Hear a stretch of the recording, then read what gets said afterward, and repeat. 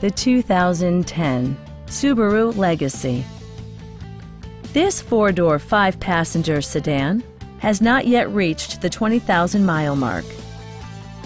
All of the following features are included. Fully automatic headlights, telescoping steering wheel, and cruise control. Side curtain airbags deploy in extreme circumstances, shielding you and your passengers from collision forces.